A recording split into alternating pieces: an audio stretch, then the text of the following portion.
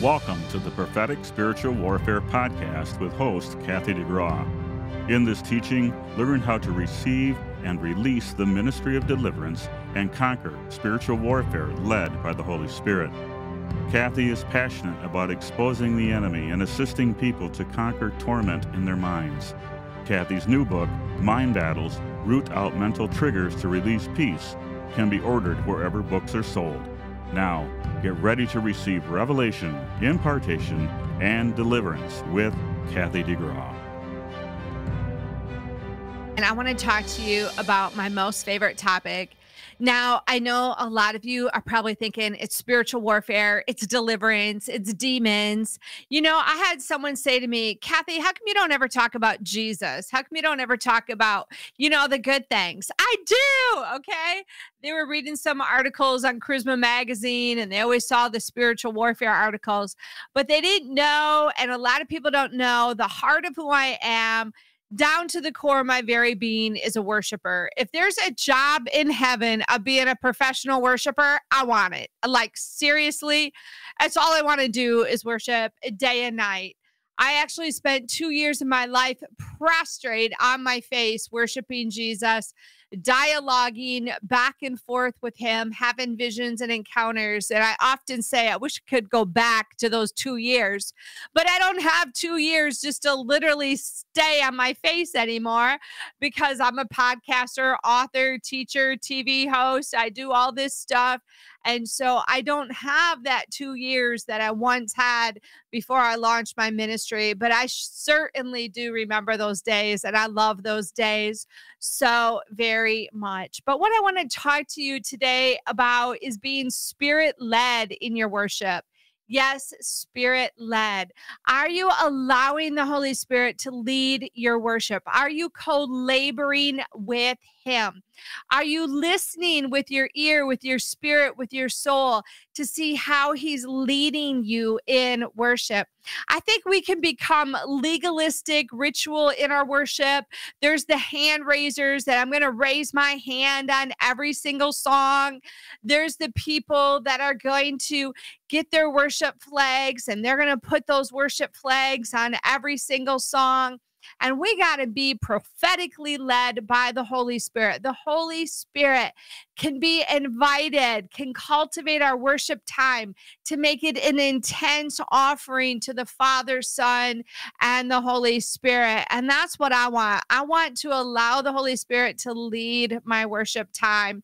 And even this past Sunday, I was in worship and I felt like He did call me to the altar to use flags. And I had brought all my flags. And even before I opened my bag, I saw what color that he wanted me to use. And so I'm, you know, over there waving my flags, and all of a sudden I feel led to just throw them aside. And I just started worshiping and freedom and spirit and truth. And, you know, I felt like I connected with Jesus in a whole new way, just really worshiping him. And then I felt the Spirit of the Lord be like, go down to your knees. And, you know, so I just went down to my knees. And as I did, the chorus of Pour My Love on You started coming on. And I literally had a vision, an encounter with Jesus. He was right in front of me. I could see his feet, the hem of his robe, his feet were bare.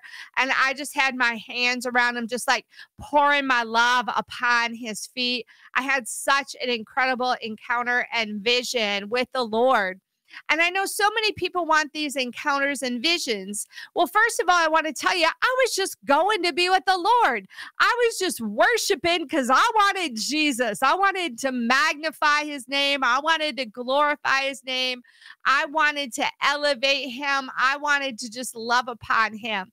But as a result of that and being attentive to the things of the Spirit by partnering with the Holy Spirit, allowing the Holy Spirit to lead and guide my worship, to not be intimidated, you know, to get on my knees. Or I know there was a camera really near me, and I was like, I'm not even going to worry about that camera because I just want to love upon Jesus right now.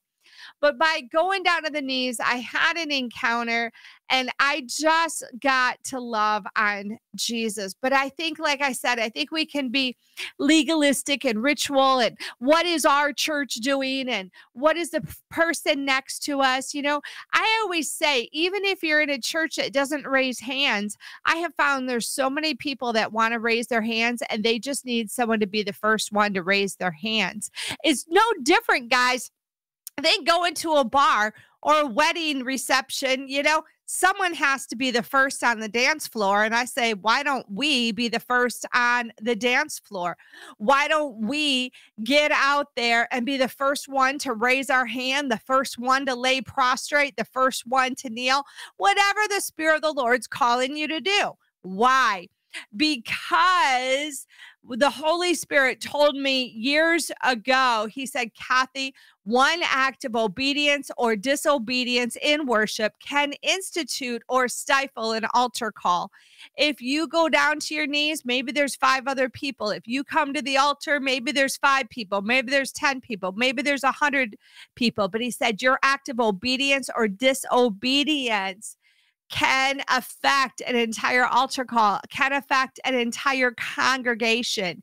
And so we have to be very sensitive to the Holy Spirit. And one of the ways that we can do that, guys, is I have written a book called Prophetic Spiritual Warfare. It's partnering with the Holy Spirit to manifest your destiny. Now, that's on spiritual warfare. It might be like, well, Kathy, how do I need that as a worshiper? Because I dedicated an entire chapter in there on building a warrior's heart, connecting with the Father? How do I break down that barrier where I'm not connecting with the Father, where I'm not feeling the Father's love? And so it's not just a book on spiritual warfare. We have to know how to cultivate that place of intimacy, how to get in there with the Father, how to build that warrior's heart, how to worship. And so we set that up before we start talking about spiritual warfare. Guys, I am a worshiper. I love to worship my God, I love to worship my Lord and Savior. And I want to encourage you. I feel like He is calling us into this place of intimacy. I feel like He's calling us into this place of newness. I feel like He's calling us to go in. Will you go into that throne room? Will you be obedient? Will you yield to the Holy Spirit's direction and not care? You know, we can't be intimidated. You know, Second Timothy 1 7 says, I've been not given a spirit of fear. And that word fear actually means intimidation. I have not been given a spirit of intimidation, but of love and power. I can't allow other people to influence how I worship or how I don't worship. You got to ignore what your spouse is thinking, what your friends are thinking, what your pastor's thinking. And you just got got to go in there and just be a radical worshiper of Jesus Christ. And as you are, his name is going to be exalted and glorified. And I tell you, you're going to feel the presence of God. The glory of God is going to manifest and it is going to change your life. I know worship has changed my life.